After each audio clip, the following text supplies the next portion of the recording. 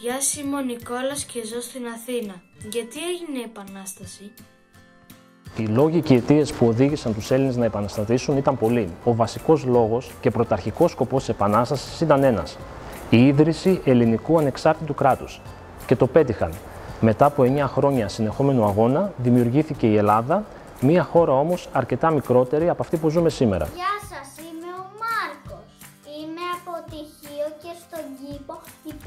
υπάρχει το άγαλμα του Κανάρι.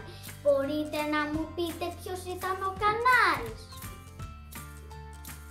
Μάρκο, και εμείς έχουμε πρωτομύτη του Κωνσταντίνου Κανάρη στο μουσείο. Ο Κωνσταντίνος Κανάρης ήταν από τα ψαρά και θεωρείται από τους κορυφαίους πυρπολιτές της Ελληνικής Επανάστασης.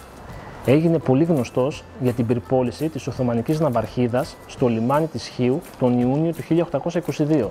Μία πράξη εκδίκησης γιατί δύο μήνες πριν οι Οθωμανοί είχαν σφάξει δεκάδες χιλιάδες κατοίκους της Χίου, ενώ όσους είχαν επιζήσει τους πούλησαν ως δούλους. Ο Κανάρης μετά την Επανάσταση έγινε πολιτικός και μέχρι το 1877 που πέθανε διετέλεσε 7 φορές πρωθυπουργός της Ελλάδας.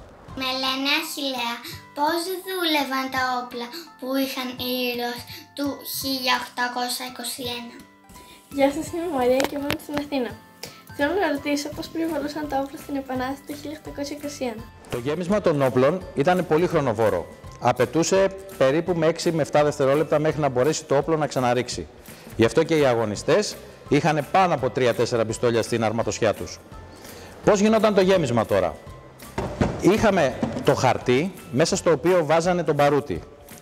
Το τυλίγανε το χαρτί, το κάνανε κάπως έτσι σαν φυσίγγι και το ονομάζανε φυσεκλίκι. Στη συνέχεια παίρνανε το όπλο, το βάζανε μέσα και με τη βοήθεια αυτής της ράβδου που λέγεται χάρμπι πιέζανε μέσα έτσι ώστε να το στουμπώσουν και να το πάνε όσο μπορούν πιο βαθιά. Κατόπιν παίρναν το βόλι, το οποίο ήταν φτιαγμένο από μολύβι, το έβαζαν και αυτό μέσα, στη συνέχεια πάλι ξαναέσφυγαν το βόλι μέσα στην κάνη και στο τέλος έβαζαν ένα κομμάτι χαρτί έτσι ώστε όταν κρατήσουν την πιστόλα και κάπως γύρει να μην φύγει το βόλι και πέσει κάτω και να είναι πάντα έτοιμη η πιστόλα για να ρίξει. Κατόπιν έκαναν πίσω αυτό το μηχανισμό που ονομάζεται λύκος, γιατί είναι σαν το στόμα του λύκου, το οποίο στο πάνω μέρος του έφερε μία τσακμακόπετρα. Η τσακμακόπετρα είναι μια πέτρα η οποία όταν τη τρίψεις πάνω εδώ βγάζει μία σπίθα. Κατόπιν βάζαν αυτό εδώ και πυροδοτούσαν. Με λένε Αλέξανδρο, ζω στην Αθήνα. Τι σπασιά είχαν το 1821. Αλέξανδρε, γεια σου και από εδώ. Αυτά τα σπαθιά των Ελλήνων είναι οι πάλες, αυτά τα μακρινά σπαθιά που βλέπεις εδώ. Είχαμε και το γιαταγάνι, το δεύτερο σπαθί των Ελλήνων, αλλά επειδή οι Έλληνες πολεμούσαν όλη μέρα και όλα τα χρόνια αυτά τα 400, φτιάχναν και αντίστοιχα σπαθιά για τα παιδιά τους. Τα οποία τα χρησιμοποιούσαν τα παιδιά για να μπορούν να μαθαίνουν και να βλέπουν την πολεμική τέχνη, έτσι ώστε όταν μεγαλώσουν και αυτοί να βοηθήσουν τους γονείς στην απελευθέρωση της πατρίδας. Γεια σας, με λένε Χρύσα και είμαι από τον Ταύρο. Θα ήθελα να μάθω αν οι μαχητές του 1821 ήταν μορφωμένοι.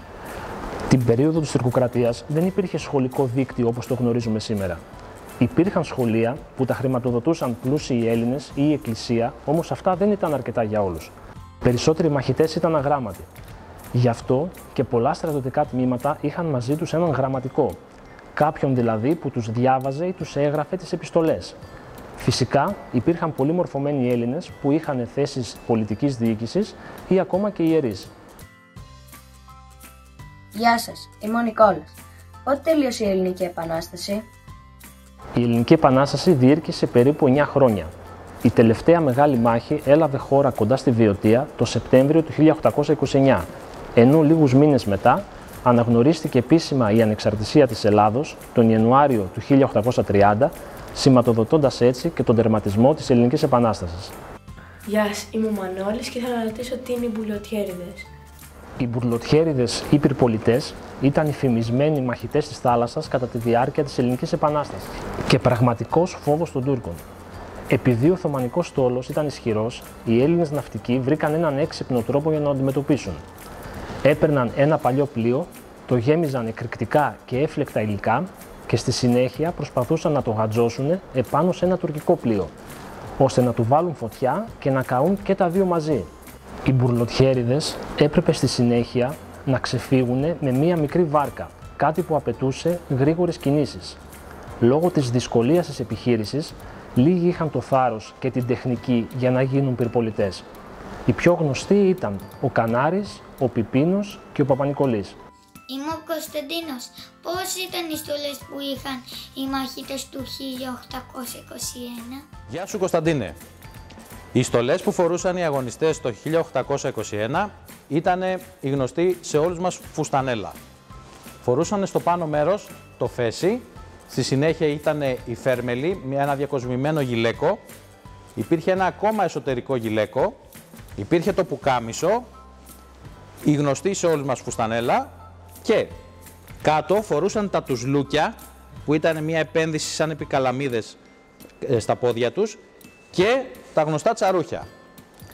Την στολή τη συμπλήρωνε το σελάχι, το οποίο απάνω σε αυτό στηριζόντουσαν όλος τους ο εξοπλισμός, τα όπλα τους, τα μπιστόλια τους, τα, οι συγκυοθήκες τους που είχαν μέσα τα μπαρούτια, ε, ένα μικρό μελανοδοχείο το οποίο βάζανε και γράφανε τα γράμματα.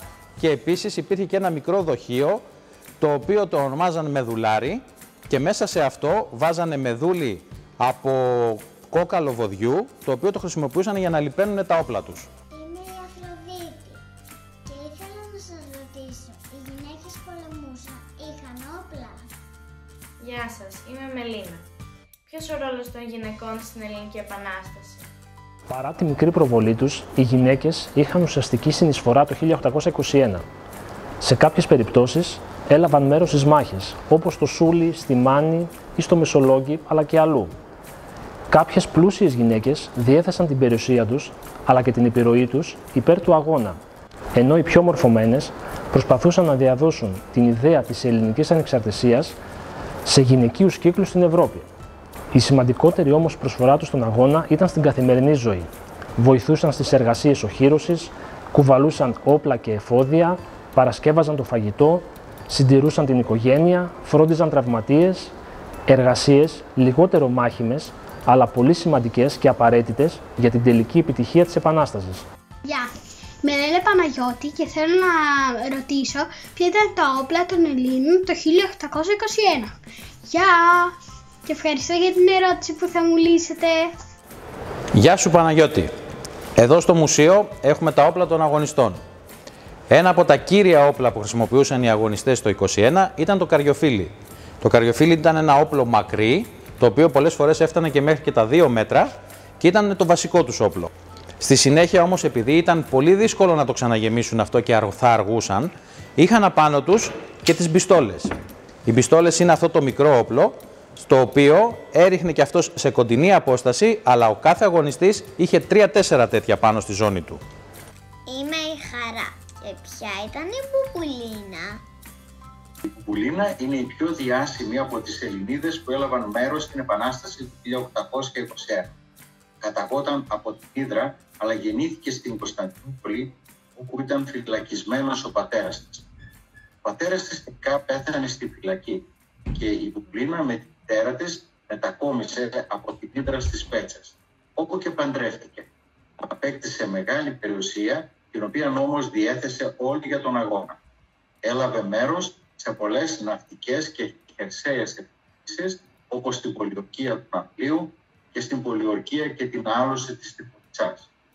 Το 1825 δολοφονήθηκε στη διάρκεια οξίας ενδοοικογενειακής φύσεως σύραξης. Μετά την, ε, το θάνατό της, η ελληνική πολιτεία της απένιμε το βαθμό του υποναβάρχου.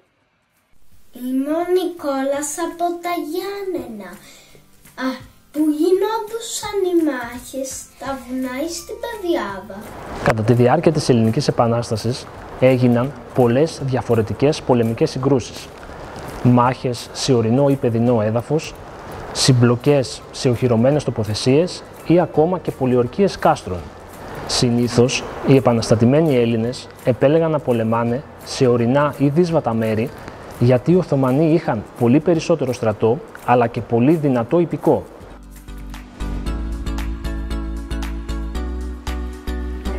Βάλει τη μάσκα.